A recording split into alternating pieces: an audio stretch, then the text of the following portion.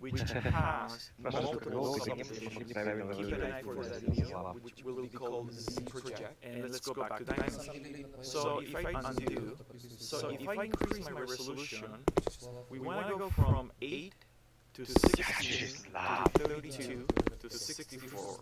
So we're talking about multiples of 8. So the lowest you can go is 8. So if I hit again, it's going to